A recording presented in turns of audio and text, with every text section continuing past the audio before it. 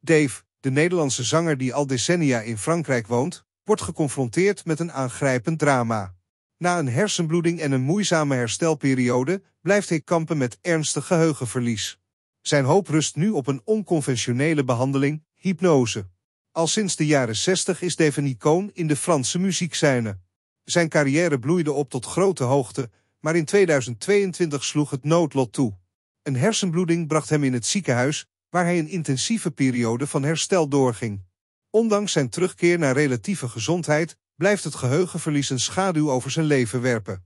Op zoek naar een oplossing kwam Dave in contact met een Belgische arts die gespecialiseerd is in cryotherapie, een behandeling waarbij extreme kou wordt ingezet.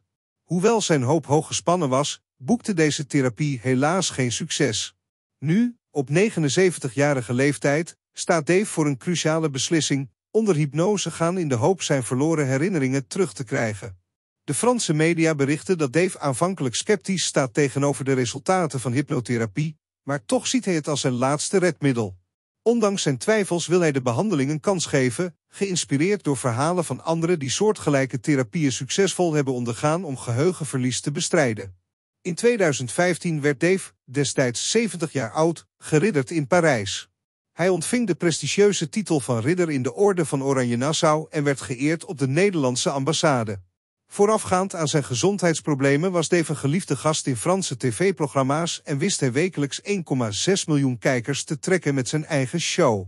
Het unieke levensverhaal van Dave, zijn muzikale erfenis en de uitdagingen waarmee hij nu wordt geconfronteerd, zorgen voor een aangrijpend hoofdstuk in de geschiedenis van deze Nederlandse zanger in het hart van de Franse entertainmentwereld.